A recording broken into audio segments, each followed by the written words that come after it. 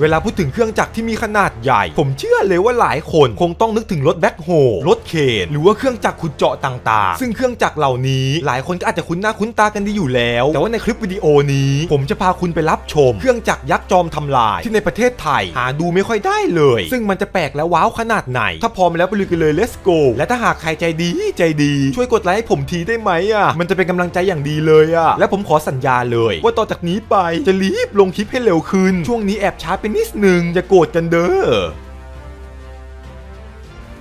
การโชว์พลังของเหล่ารถยักษ์มันมีหลายรูปแบบหลายวิธี บางทีแค่ขี่ผ่านเฉยๆ เราก็สามารถสัมผัสได้ ถึงความอันตรายและร้ายกาจมันถูกสร้างขึ้นมาสำหรับชิ้นงานที่ใหญ่ แน่นอนเลยว่าน้ำหนักรวมถึงแรงของมัน จะต้องมหาศาลน่าดู โดยพี่เบิ้มรถขุดในอันดับนี้ แกมีชื่อรุ่นว่าทีเล็ก SR 400 มันเป็นรถขุดจาะที่มีขนาดใหญ่เป็นพิเศษ ใหญ่กว่ารถตักทั่วไปหลายสิบเท่า ความสูงมันท่วมหลังคาบ้าน คนงานที่บังคับอยู่ เห็นวิวสูงอย่างดี ในส่วนความหนักมันหนักถึง 660 ตัน ใช้เครื่องยนต์ดีเซลความจุถังน้ำมันอยู่ที่ 13,000 ลิตร ขับเข้าปั๊มไปเติมเต็มถัง ราคาปัจจุบันอยู่ที่ 550,000 บาท เติมน้ำมันทีมีครึ่งล้าน พี่ก็อยากโชว์พลังเทพ โดยการใช้บุ้งกี่นะครับ สกิดรถกระบะ4ประตู สังเกตความใหญ่ของบุ้งกี่มันสิ พระเจ้าช่วยกล้วยทอด ใหญ่ยาวเท่าตัวรถเลย พอปรับองศาได้ที กดเลยแบนจมดิน ขนาดรถกระบะที่ว่าแข็งแกร่ง ยังแบนเป็นเศษกระดาษ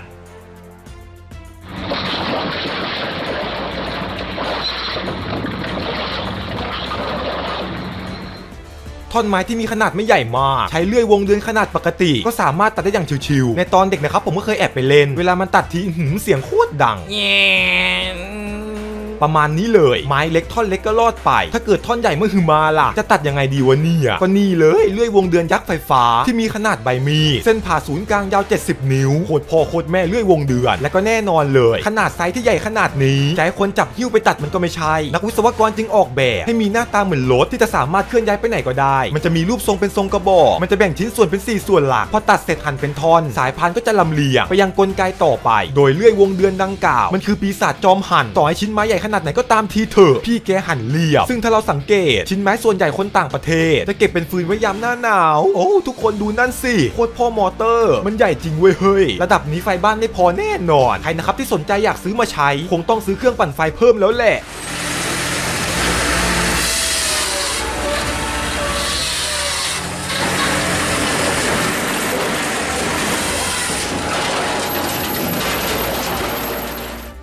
รถขยะที่เราเห็นกันอยู่ ในเมืองไทยส่วนใหญ่จะมี 2 ประเภท คือใส่กระบะหลังธรรมดา กับใส่ท้ายไฮดรอลิก เพื่อดึงเศษขยะทั้งหมด ดันเข้าไปด้านใน แต่ว่าพละกำลังมันก็ไม่ค่อยมากมายเท่าไหร่เหมาะสำหรับเศษขยะทั่วไปชิ้นเล็ก แต่ว่าเจ้านี้มันคือสุดยอดซูเปอร์รถขยะที่มีชื่อรุ่นว่าแมกนัมด้วยประสิทธิภาพที่โคตรจะสุดยอดพิสูจน์มาแล้วโดยคนผลิตที่มีประสบการณ์ยาวนานถึง 20 ปีถังพักด้านหลังขนาดใหญ่ เก็บได้เกือบทั้งจังหวัดอะอันนี้ก็ภาคเวอร์เกินไป ภาพลักษณ์หน้าตาดูดี มันมีแขนกลไฮดรอลิกที่สามารถดึงขยะโดยใช้เวลาเพียงไม่ถึง 6วิดึงปลื้ดเดียวไปกองอยู่ด้านใน และเจ้าไฮดรอลิกดังกล่าวนี่แหละ มันถูกออกแบบมาเป็นพิเศษ พร้อมกับโครงสร้างรอบๆมันด้วย เพื่อช่วยดึงเศษขยะขนาดใหญ่ ให้เข้ามาด้านในง่ายขึ้น ปกติของชิ้นใหญ่ดึงไม่ขึ้นหรอก และก็มี challenge ท้าพิสูจน์โฆษณามาเยอะขนาดนี้ ใช้งานจริงดีขนาดไหนกันเชียวท้าประลองโดยรถเก๋งหนึ่งคัน ดูซิว่าจะบดละเอียด และดึงเข้าไปด้านในได้หรือเปล่า กองเชียร์โดยรอบต่างพากันลุ้น คนเก็บขยะส่วนใหญ่ไม่เคยเจอ เป็นความท้าทายที่สุดยอดเยี่ยมเขาเลือกนำส่วนหัวเข้าไปก่อน จากนั้นค่อยๆขย้อนเข้าไปพระเจ้าช่วยกล้วยทอด มันเขมือบเป็นงูเลย รถเก่งคันบักเอ้บทั้งคัน หายไปในพริบตาเดียว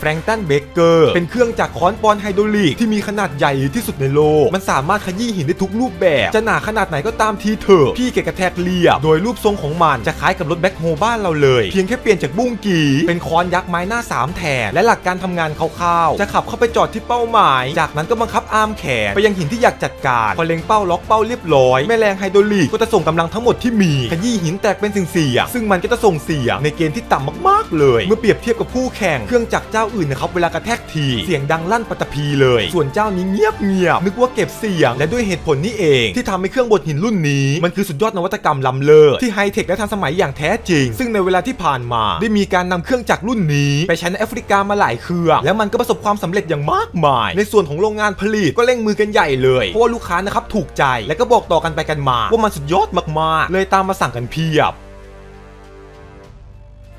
รถยนต์ที่เราใช้กันอยู่ทุกวันโครงสร้าง 90%เลยเป็นเหล็ก หลายคนนะครับคงเข้าใจดี ว่าความแข็งแรงมันล้นหลามเพียงใด แต่พอใช้ไปนานเข้า 5 ปี 10 ปี 20 ปี มันเลยเสื่อมสภาพตามกาลเวลา ต่อมาทำไงดีล่ะ จะเอาไปทิ้งก็เสียดายเสียดาย ส่งขายเศษเหล็กดีกว่า และการทำให้มันมีขนาดเล็กลง จะมาแกะทีละชิ้นก็ไม่ไหว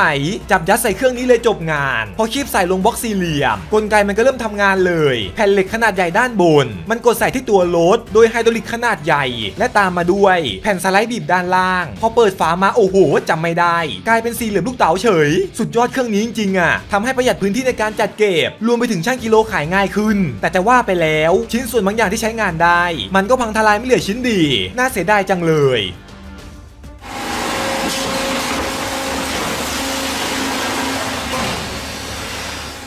รื่องบดที่เราเห็นกันส่วนใหญ่ มันจะมีขนาดไม่ใหญ่มาก คนจะชอบซื้อมาทำคลิป จะหาพวกแตงโม หรือว่าสิ่งของต่างๆ มาหย่อนลงไป เพื่อให้คนที่สนใจนะครับดูเพลินกันไปเลย ไอผมก็ชอบดูซะด้วย ซึ่งนั่นก็ถือว่าเป็นเครื่องบดที่เล็กนิดเดียว เมื่อเปรียบเทียบกับเจ้านี้มันคือเครื่องบดไฮดรอลิกรุ่น VZ950 เป็นเครื่องบดที่มีประสิทธิภาพโคตรจะสูง ขนาดรถยนต์ทั้งคันยังปั่นไม่ให้เหลือซากในส่วนใหญ่นะครับพวกโรงงานขยะรวมไปถึงโรงงานแปรรูปจะชอบใช้เครื่องนี้แหละในการย่อยสลาย ซึ่งขนาดแต่ละทีก็จะมีความใหญ่และความแรงแตกต่างกันไปเฮ้ยเสียงหายเว้ยเฮ้ยมันมีความเร็วในการทำลายที่สูงสูงน่าประทับใจมากๆ เพียงแค่เราหย่อนวัตถุลงไป ผ่านไปแป๊บเดียวรถทั้งคันหายไปเลย โดยเครื่องบดเหล่านี้ มันจะมีการทดเฟืองที่อัตราสูงมาก ส่วนใหญ่จะเป็นเฟืองตัวหนอนที่มีแรงบิดสูงกว่า 3 0 0 0 0 0 นิวตันต่อเมตร มันจึงสามารถบดรถยนต์ที่มีโครงสร้างส่วนใหญ่เป็นโลหะอ่อนให้สลายได้อย่างง่ายดาย เลื่อยวงเดือนที่เราเห็นกันส่วนใหญ่ มักมีขนาด 4 นิ้วถึง 16 นิ้ว ก็ถือว่าใหญ่สุดในท้องตลาด ถ้าหากใหญ่กว่านี้ ผมเองก็ไม่รู้ว่าจะไปตัดอะไร แต่ว่าทุกคนเชื่อหรือไม่ ว่ามีเลื่อยวงเดือน ที่มีขนาดเส้นผ่าศูนย์กลาง ยาวถึง 3 เมตรกันแน่ เป็นขนาดใบมีดที่มีความใหญ่เอามากๆ มองไปแล้วดูน่ากลัวไม่อยากเข้าใกล้ โดยมันถูกติดตั้งกับแขนของรถแบ็คโฮ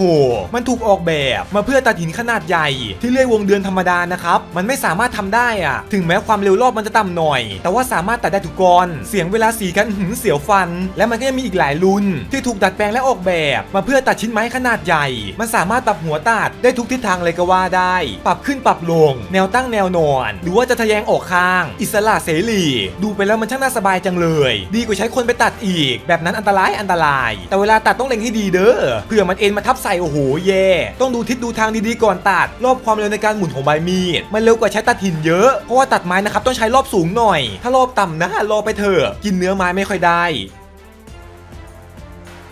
คุณผู้ชมหลายทาน คงต้องรู้จักเครื่องตัดไม้แน่นอน ที่เวลาตัดที เครื่องมันจะดังแอนแอนแอนแอนแอนสนั่นลั่นป่า และเครื่องจักรในอันดับนี้ มันก็มีหน้าตาเหมือนเครื่องตัดไม้เลย แต่ว่าขนาดไซส์นะครับต่างกันลิบลิ่ว มันคือเครื่องเจาะเลื่อยโซ่ที่ใช้สำหรับขุดดิน โดยเครื่องจักรขนาดใหญ่นี้ จะตัดผ่านพื้นผิวดิน ด้วยขนาดโซ่ที่ใหญ่มาก ซึ่งมีความกว้างตั้งแต่ 200มิลลิเมตรจนถึง 700มิลกันเลย ในส่วนความลึกที่มันขุดได้เกือบเกือบ2เมตรกันเลยทีเดียว ลึกเอาเรื่อง และขนาดไซส์ที่ใหญ่โตขนาดนี้ มันจึงมีน้ำหนักเฉลี่ยประมาณเกือบเกือบ60 ตัน และผมก็เชื่อเลยว่าหลายคนนะครับไม่เคยเห็นอย่างแน่นอน เพราะหน้าตาของมันโคตรจะแปลกซึ่งมันก็พิสูจน์ให้เห็นว่าเมื่อจับเครื่องขุดรุ่นนี้ไปเปรียบเทียบกับรุ่นอื่น เจ้ารุ่นนี้ชนะขาดลอย เพราะเนื่องจากมันประหยัดต้นทุน และการทำงานที่รวดเร็วกว่า ยังรวมไปถึงผลกระทบด้านสิ่งแวดล้อมที่ดีกว่ารุ่นอื่นด้วย ซึ่งเครื่องจักรนี้ส่วนใหญ่จะถูกใช้ขุดในการทำกำแพง เพื่อการเขตแดนของเหล่าทหาร จะขุดเป็นร่องลึกใหญ่มาก จะเป็นดินเหนียวหรือว่าหิน พี่แกขุดเรียบ อุบัติเหตุทางเรือ ถึงแม้มันจะเกิดขึ้นค่อนข้างน้อย แต่พอเวลาเกิดขึ้นทีโอ้โหน่าเศร้า เพราะว่าสิ่งของต่างๆ มันก็มักจมลงสู่ก้นทะเล ที่ลึกลงไปมีแต่ความหว่าเว ถ้าเป็นรถยนต์ส่วนใหญ่จะมีรถลากใช่ไหมล่ะ แต่หากเป็นเรือแล้วก็จะทำไงดีวะเนี่ย นักกู้ภัยนะครับจึงปิ๊งไอเดีย สร้างโลกู้ชีพไฮดรอลิกที่มีแขนกลหนีบใหญ่มาก เพื่อรองรับขนาดไซส์เรือ ที่มีความใหญ่และยาว ได้อย่างสบายๆเลย รูปทรงมัน basic ไม่ค่อยมีอะไรหวือหวาหรอก มีแต่ขนาดของมันนี่แหละที่ใหญ่จนไม่น่าเชื่อพลังหนีบและแรงดึงมหาศาล เพื่อกู้ซากเรือที่มีน้ำหนักเยอะ รวมถึงสิ่งของอื่นๆ ที่คนเราไม่สามารถเอาขึ้นมาเองได้ ต้องอาศัยล่อกู้ชีพอันนี้อะสุดยอดพระเจ้าจอร์จ จ้านี่มันคือเครื่องอัดไฮดรอลิกที่มีแรงกระแทกกว่า60,000 ตัน โอ้โห มันช่างใหญ่ซะเหลือเกิน ในส่วนน้ำหนักตัวมันเอง มันหนักประมาณ 2,600 ตัน ก็ถือว่าหนักเอาเรื่องเพราะเนื่องจากเหล็กนะครับ โอ้โห ใหญ่และหนามาก โดยหลักการทำงานของมันจะส่งกำลังจากแม่แรงไฮดรอลิกไปกระแทกเหล็กให้เป็นรูปทรง ซึ่งเหล็กหนาดังกล่าว จะต้องผ่านความร้อนมาก่อน ต้องให้เนื้อเหล็กนะครับแดงฉ่ำให้เหมือนเนื้อแตงโมเลยอะเครื่องจักรเหล่านี้จะต้องถูกเก็บในห้องที่มีพื้นที่มากเพราะเนื่องจากมันมีความสูงเกือบเกือบ9เมตรกันเลย และพื้นคอนกรีตที่รองรับแรงกระแทกจะต้องแข็งแรงหนาถึง8ชั้นกันเลย ถ้าเกิดเบาะบางนะครับกระแทกทีแตก